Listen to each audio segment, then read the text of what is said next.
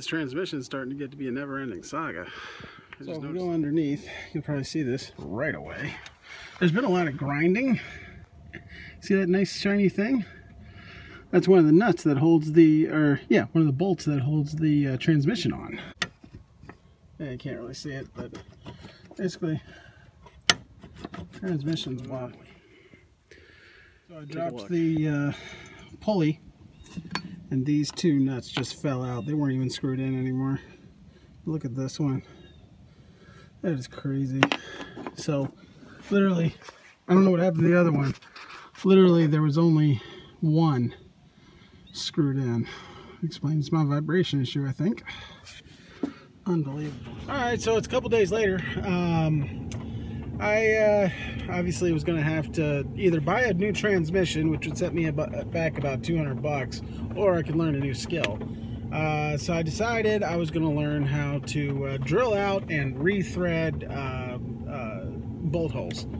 Um, so I, I contacted a friend of mine that I thought might have uh, the particular kit I needed for my uh, uh, uh, transmission. I needed uh, bolts that were M8, um, and then uh, the length, I believe that's what it is, 1.25 uh, fine thread.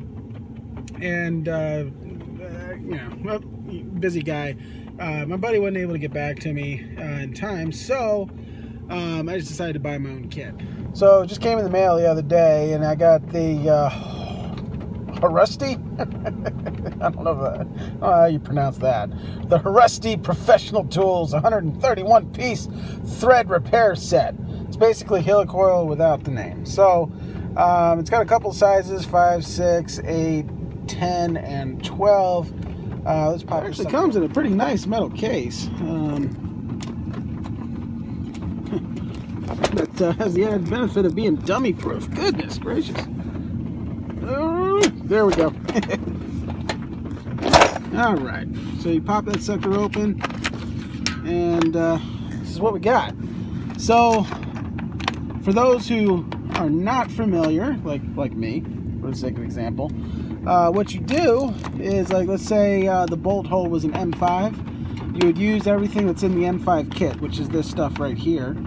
And so the way it works, unless I watched the internet wrong, is you take the drill bit and you drill out the hole, put it back, and then you then tap the hole using this. Um, I don't know if you guys have done this before. I've done it once on a uh, uh, lawnmower engine. Uh, it's not a very fun job, but it's not hard either.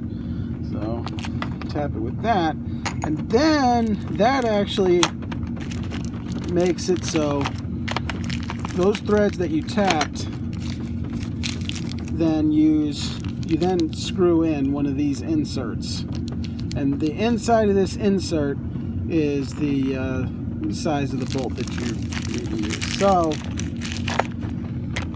that's the plan. I'm going to use this kit and repair the uh, threads and the uh, the nice thing about this job is uh, I'll get to learn how to rethread something, and it's on a, a component that's not uh, not that valuable because you know it's just uh, just a transmission. What's the worst that could happen? I actually saw a couple other ways to do it, um, but I, this is something I actually really wanted to learn how to do. So it's a good opportunity for me to learn how to do it.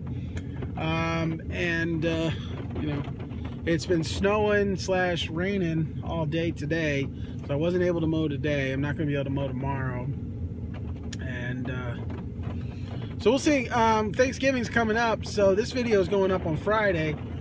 Uh, I got some other stuff that's already scheduled that's going to be posted.